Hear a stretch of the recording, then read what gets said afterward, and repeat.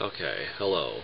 This is Dr. Jaynes, and today I'm going to talk about it. I just installed a, a new um, new Ubuntu because uh, the old one was uh, I had a two terabyte hard drive, and uh, I wanted to make a disk image of it, but I, there's no way it was in the old file system, and I didn't know how to do that, so I ended up installing the new Ubuntu, and now I got to uh, reconfigure everything and it, what happens is right now the screen is timing out after about five minutes or so. It's really annoying and I like the screen to stay on.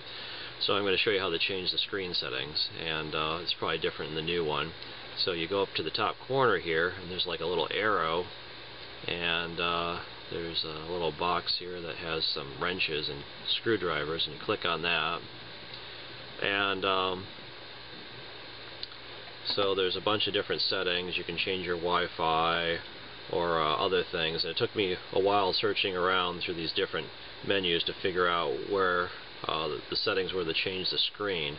But if you click on privacy, there's something up here that has screen lock. Okay, so you click on screen lock and then uh, automatically lock screen. So you can turn that off if you want. Or you can uh, change it so it stays on for maybe oh, an hour, 30 minutes, whatever. And uh, once you do that, your screen should be uh, okay just check it to make sure it's stayed permanently changed. So so anyway here's here's where all the settings are and hopefully that changed our screen so it doesn't shut off after five five minutes or whatever. It's really annoying. Okay so there's one more thing. We were in um, uh, privacy and we had the lock screen and uh, playing around with this a little bit more I realized that there's other things that can shut your screen off.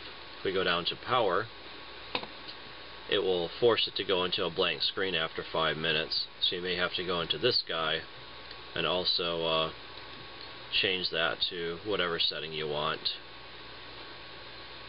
And uh, maybe you want to turn off the power saving option I'll just leave that on for now. Anyway, automatically suspend operation. So, under the power setting, it's designed for portable devices also to shut them off uh, if uh, you're away from it from too long. So, you might need to uh, change that setting as well to uh, keep the screen on, as in addition to the privacy one, where you, where you have the screen lock after a certain amount of time. Okay, so hopefully that helps. And uh, so anyway, this is uh, Dr. Jaynes, and thanks for watching.